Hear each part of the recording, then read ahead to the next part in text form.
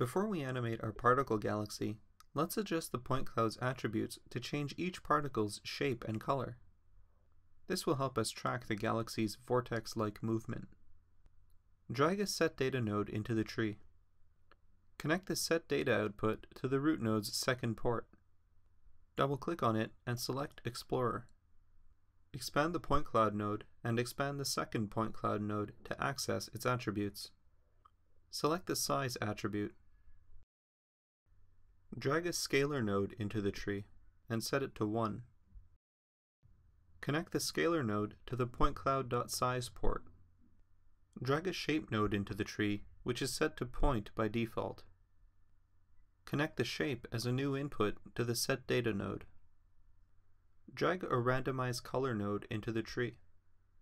Connect it as a new input to the setData node.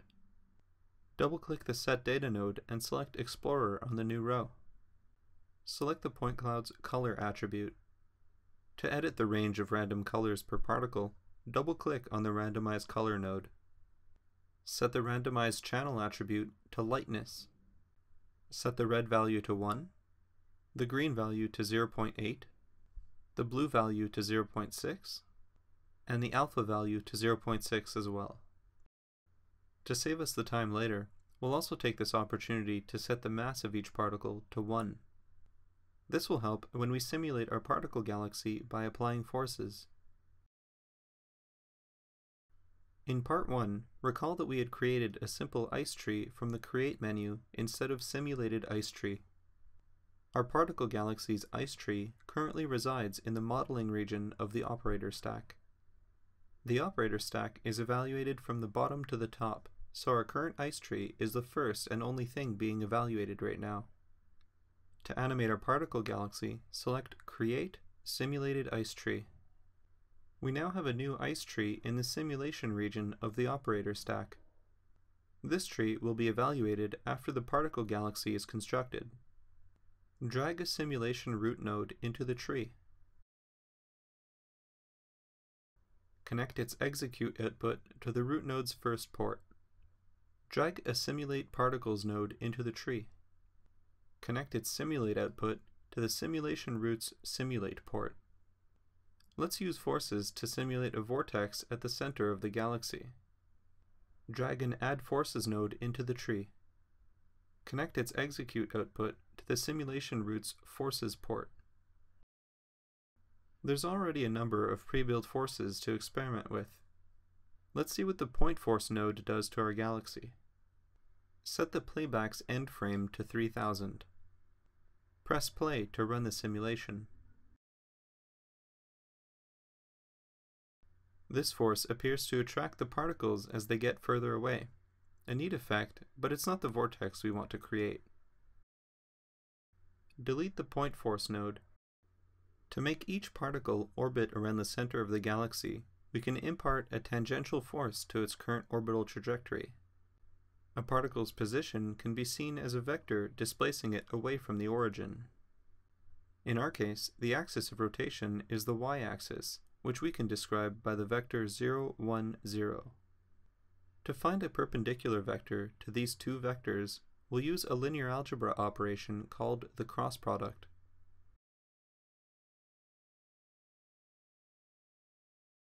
To access the position of each particle, drag a getData node into the tree. Select the point cloud's point position attribute.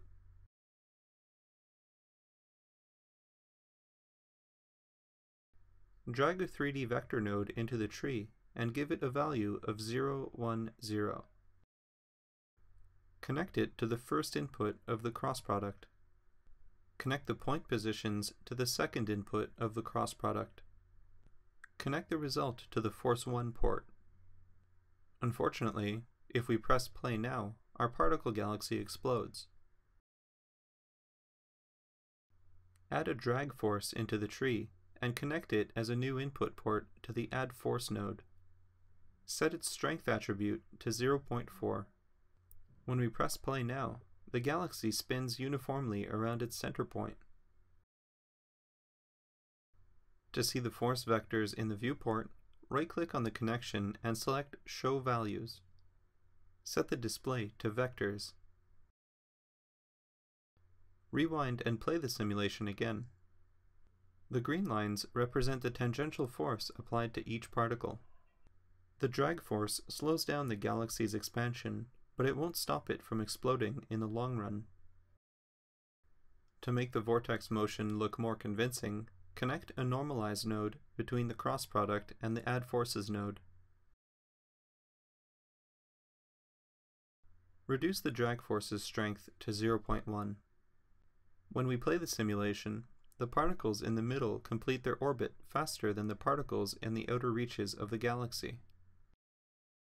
To see why, let's show the vector values of the normalized node's output. Play the simulation again from the start. You may need to zoom in to observe the vector lines in the viewport. The role of the normalize node is to scale its input vector to a length of 1. Since the circumference of an outer orbit is larger than an inner orbits, and given that the particles are all traveling at the same speed, the further particles will take longer to rotate around the center of the galaxy. Now that we've constructed our galaxy and animated it, we can quickly look at how to render it as a volume cloud. Select the point cloud's material. If it's collapsed, expand the material node. Delete any other existing nodes in this render tree. Drag a particle volume cloud node into the tree.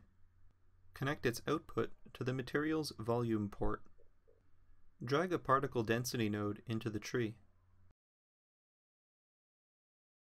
Connect its density output to the particle volume cloud's density input. Expand the color section and connect the particle density's color output to the diffuse color input. Rewind the timeline back to the first frame. Press Q in the viewport to set the cursor to render preview mode. Click and drag to see how the galaxy will be rendered. The colors seem a bit dull, but we can change that. Double-click the particle volume cloud node. Set the contrast amount to 0 and the contrast center to 0.7. Select the Color tab. Set the intensity to 0.5.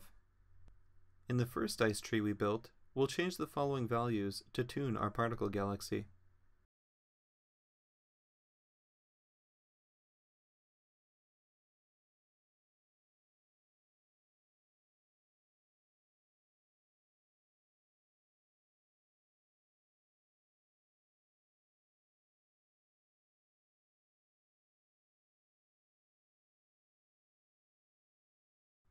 You should now have a basic idea of how to use ice with a bit of math to create and animate your own particle systems.